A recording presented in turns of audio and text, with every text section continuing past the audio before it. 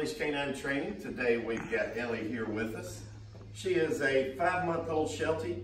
She, um, major owner complaints are she doesn't really come when she's called. Um, just needs general obedience work. So we're gonna see what she does know today. Ellie. Ellie. Well, that's not quite a fit, but that's a down. There you go, good girl. Ellie, do you know Daddy?